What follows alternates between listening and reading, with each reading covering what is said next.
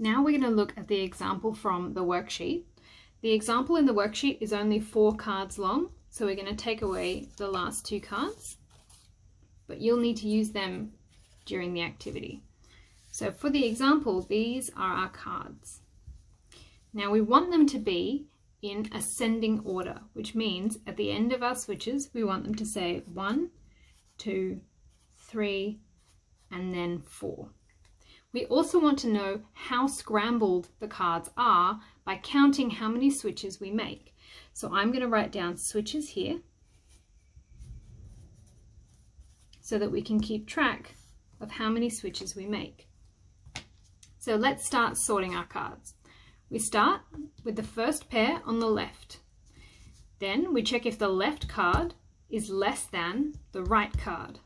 Is 4 less than 1? No. So we swap them around. And because we made a switch, we're going to write a 1 down here for our first switch. Then we check the next pair. Is the left less than the right? Is 4 less than 3? It's not, so we need to make a switch. Now we've made two switches. Then we check the next pair. Is 4 less than 2? It's not, so we switch them around.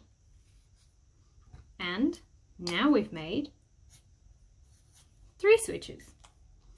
We reach the end of our cards. Are they in order yet?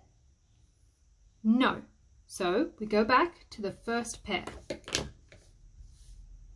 Is 1 less than 3?